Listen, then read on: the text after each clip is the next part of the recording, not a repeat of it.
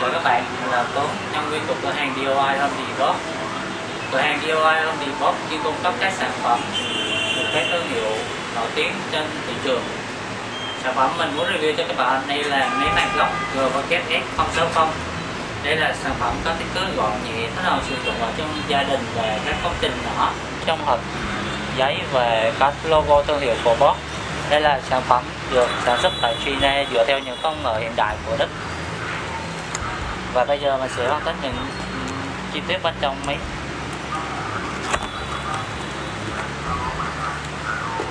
Bộ sản phẩm này bao gồm một sách hướng dẫn về sử dụng máy mài góc GVKS 060 sách hướng dẫn này có sử dụng tiếng Việt nên các bạn có thể tham khảo để sử dụng.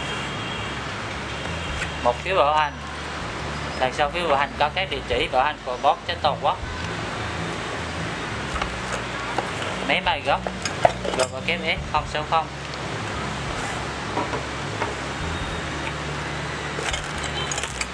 bộ phụ kiện kèm theo của máy bay gấp hai ốc để khó các đĩa một kim đỡ, dụng cụ đỡ siết chặt các đĩa lại.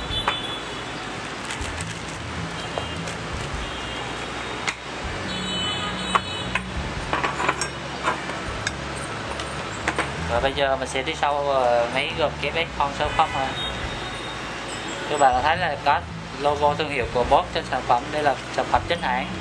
Có tem bảo hành của sản phẩm, các bạn có thể kích hoạt sau khi mua máy được bảo hành trên toàn quốc.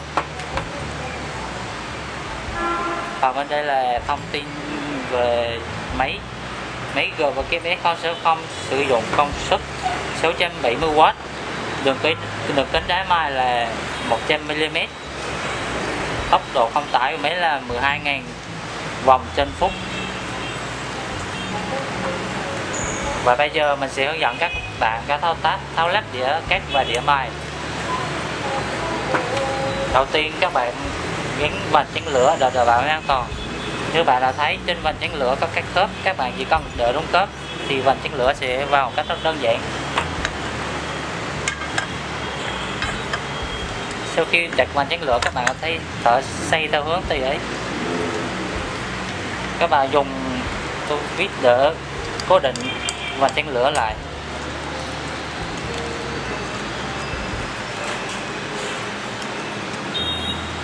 Đầu tiên, mình sẽ hướng dẫn các bạn thao tác led dĩa khác.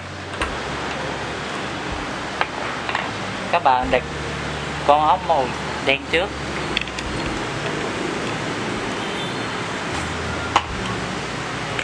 Sau đó đặt đĩa cái theo khớp của con ốc. Để vì con ốc màu trắng này có hai cạnh, các bạn đặt quanh lõm vào trong đĩa cắt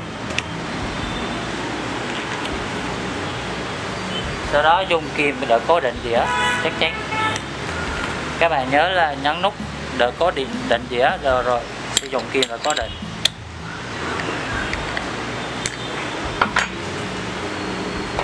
Và thao tác lắp đĩa cắt để hoàn thành. Và bây giờ mình sẽ hướng dẫn các bạn các thao tác để lắp đĩa mài. Đầu tiên các bạn phải, mình sẽ hướng dẫn các bạn tháo đĩa cách ra các bạn vẫn giữ nút cố định trên đầu để tháo tháo nó lỏng ốc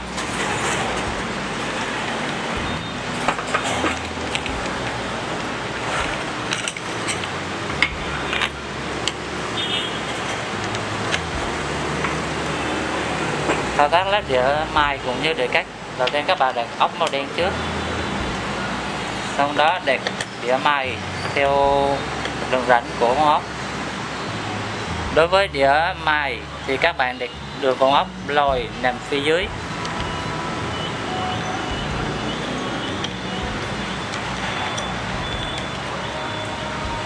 Sau đó dùng kim để cố định lại.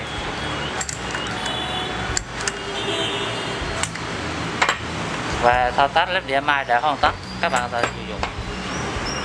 Hiện tại máy GKS 060 hiện đang được cung cấp tại các cửa hàng của DIY Divot các bạn có thể truy cập địa chỉ website DIY Divot vn để xem thông tin của máy cũng như ờ, thông tin của dòng sản phẩm này.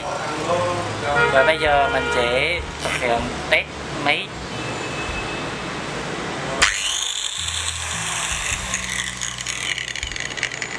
như bạn thấy thì máy hoạt động rất là mạnh mẽ. Và bây giờ mình sẽ test máy trên thanh nhôm kim loại này.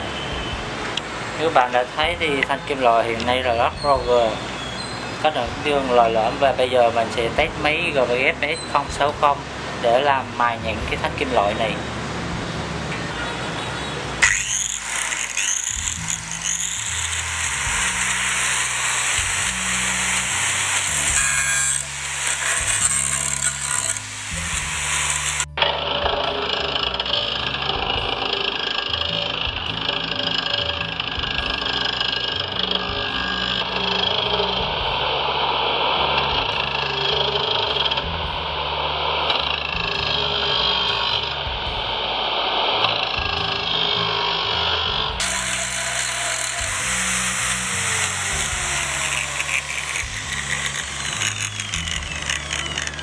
Các bạn đã thấy thì bây giờ mình đã hoàn thành xong phần test sản phẩm. Các bạn có thể thấy là thanh kim loại bây giờ để rất là nhẵn về không còn gờ gờ nữa. Mấy cái dốc và ghép S đang được cung cấp tại các cửa hàng của DIY Honeypot tại hai địa chỉ số B EO Môn Kim phường Hai Lên, quận Bình Thạnh và 29 đường 817 tại Văn Bửu phường Nam quận 8 và các bạn có thể truy cập website doihoneypot.vn để xem thông tin cũng như giá cả của sản phẩm. Sản phẩm này được giao trên toàn quốc. Video review sản phẩm này đến đây là kết thúc. Các bạn có thể comment dưới video để nêu ra những ý kiến về sản phẩm này. Đội ngũ của DIY Honeypot sẽ trả lời những thắc mắc của các bạn. Các bạn có thể xem video này hay đăng ký kênh để theo dõi những video review tiếp theo của, của kênh DIY Honeypot chào tạm biệt và chúc các bạn ngày làm việc vui vẻ